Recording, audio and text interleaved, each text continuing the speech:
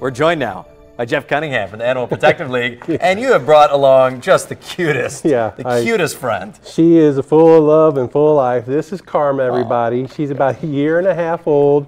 She's a pit bull terrier mix. Um, she came to us from Sangamon County Animal Control in our New Hope program. And Karma is just, she has got a lot of love to give. She's very high energy. She's probably going to do great with a family that can match that energy. Yeah. Maybe a single person who likes to go out and venturing. Um, she gets along with other dogs really well. We found out today she's, she's really very patient with other animals.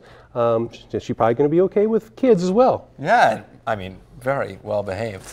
Yeah. And obedient as well. I mean, what an adorable dog. I know that you guys are always uh, involved in the community as well. So, you know, if someone's not stopping by the APL to maybe check out Karma, hang out with her for a little bit, what else can they do that you Well, guys are hosting? you can always go out to our, uh, our website to see more about Karma at www.apl-shelter.org, and you can find out more about Karma and also the events that we have coming up. And we do have some events, you know, the new year now, we're getting started up here. Oh, yeah. on March 8th, we're having our first event of the year. This is the Dueling Pianos out in Chatham, Illinois. It's presented by our friends uh, at Levi Ray and Shoop. We're very appreciative of their support.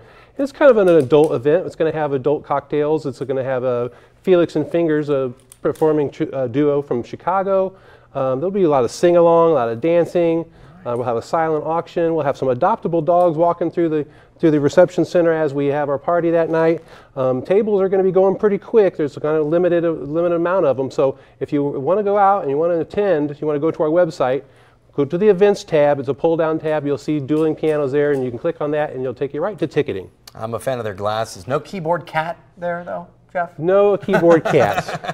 no keyboard cat. Although this one here, she has an uncanny ability You know, to get up and play get some on- chords? She really knows how to get on the, on the hotkeys on the on the keyboard, and uh, you know, she, I, I don't know how to do it on my own computer, but she, Karma's likes to just hit the hit the buttons, and all of a sudden the screen will split into four ways. I'm I'm amazed how you do that. So. There we go. She's she's very full of life, and she's a real fun dog for somebody. She's looking for a new home, so come on out and see Karma at the APL. Like I say, if you come out, ask one of our attendants to get her out of her cage. You're going to see her one on one. You're going to see her lovely, uh, char- char- charismatic selfie, and she's just she's so fun. She's I've having- incredible. yeah, I've been having a lot of fun with her this morning. Come on, guys. You got to get Karma adopted. Jeff, thanks as always for stopping by. Thanks for watching. Stick around by subscribing today and don't miss a single video.